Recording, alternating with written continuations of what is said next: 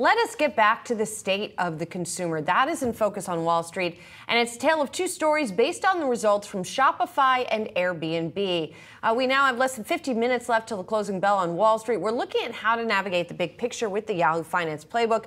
And joining us now is Scott Devitt, Wedbush Equity Research Analyst. You know, Scott, We've been sifting through a lot of the results, not just these two, to try and figure out what is the health of the U.S. consumer. But these are two good examples that tell very different stories. Shopify seemingly going like gangbusters. Now, it's most of its customers are not directly consumers, but it's retailers that service consumers. And then you have Airbnb on the other side showing some cracks in terms of consumer demand. So, what do we take away from this?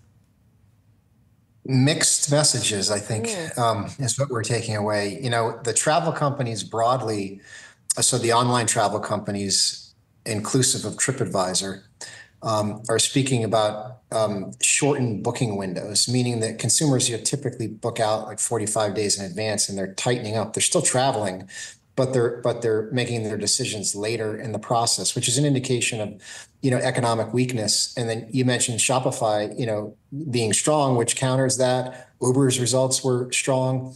Um, parts of Google's business were strong. Meta was strong across the board. So um, it's unclear what is going on, other than that there are these emerging kind of indications of weakness that weren't there three months ago. And so it may be isolated to travel and a few other pockets, or it could be, you know, the beginning of something broader. And I think that's why you're seeing these reverberations in the market, aside from the macro, you know, dynamics, but from a fundamental standpoint, some reverberations around that uncertainty. Scott, let's get into some specific names. I know you cover. Shopify is one of them. They reported sales and profit beat uh, consensus. Stock is surging here, uh, Scott. You're though you're neutral on the name, so you're on the sidelines. How come, Scott? Well, we downgraded it um, a handful of months ago on valuation, and um, it's it's a it's a very well positioned company. It's just um, very expensive because of the way that investors look at it. Um, they look at it like a software company, but it doesn't have software company margins. So, um, you know, it tends to trade at a very high multiple relative to other companies that are in similar businesses across the consumer internet. And so, for that reason, we're pretty valuation sensitive. And you know, where the stock trades now, it's about 42 times EBITDA. So that that's a it's a high multiple even you know for a business that's growing 20 plus percent with expanding margins. So that's that's the main issue. Nothing really fundamental. I think it's a very strong company. And, and in fact with these results they're pretty well positioned to show healthy top line and expanding margins now for at least a few quarters. So i guess that what would change your mind is only either if the shares came down or if you know the numbers accelerated to such an extent that the valuation looked more attractive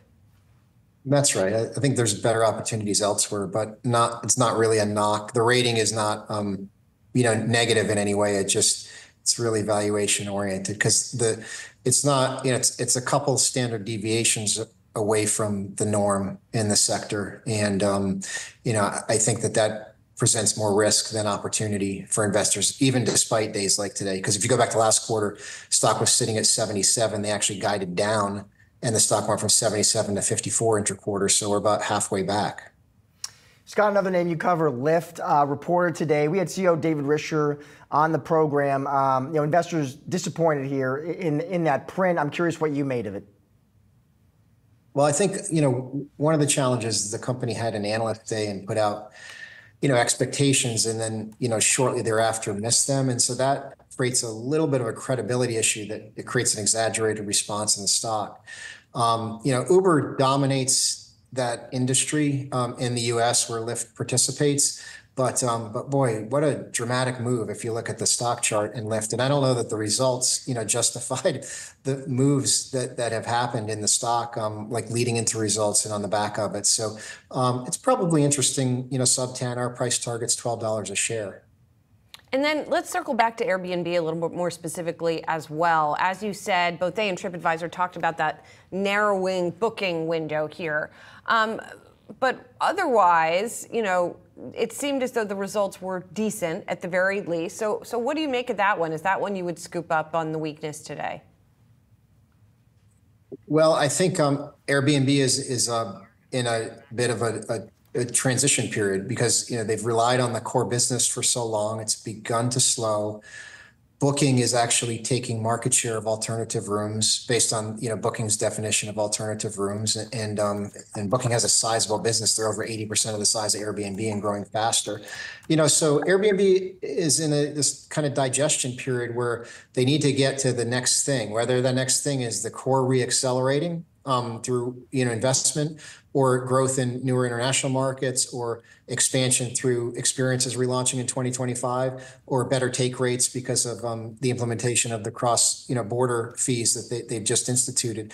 One of those things needs to take over so that the business can sustainably grow in the double digits whereas right now it's sitting there and investors you know without that visibility think this business could be a single digit grower which would be problematic even though it's not super expensive at 23 times earnings with a 7% free cash flow yield. So we like it, um, you know, on the pullback, but I was there yesterday, you know, so I, I don't think with the stock down 20%, there was enough there to downgrade it after the fact.